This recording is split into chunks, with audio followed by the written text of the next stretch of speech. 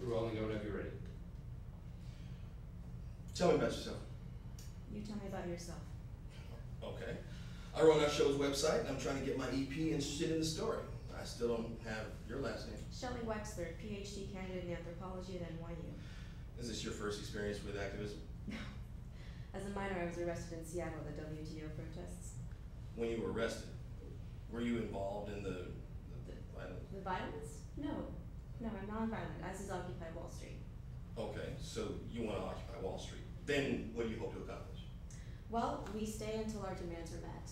The arrest and prosecution of the people responsible for the crash, the formation of a presidential commission to investigate corruption in politics, and the ratification of a constitutional amendment that outlaws legal designation of corporate personhood.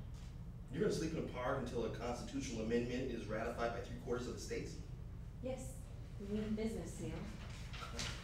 Shelly, you started off with one clear and non-reasonable demand, and now you've got like 14 of them, including arresting the Lehman Brothers. Are you doing a story? Are you giving advice? What, I haven't been assigned the story yet, so I'm giving advice. And you can't have a protest unless the media covers it.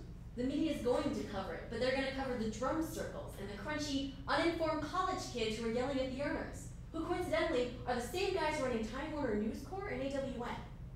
You don't have the patience for complicated things, so. I, do. Yeah, then why do you take Wall Street bullshit, like limited government, seriously? There's straight up fraud being committed. Your show covered Casey Anthony. In our defense, we were the last ones to do that. That's a lame defense. Where was Will McAvoy when Goldman sold its clients mortgage-related securities without disclosing that the hedge fund manager who chose the mortgages was betting on them to fail?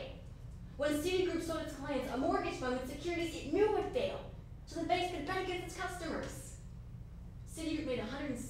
Citigroup made 160 million off its investors losing 700 million. So I expect I'll see your cameras the next time girls go wild, but you know, frankly, until then, I don't trust you to get a fucking story anywhere close to right, especially one with distractions. I want this to succeed. Then you're on the wrong side of the camera.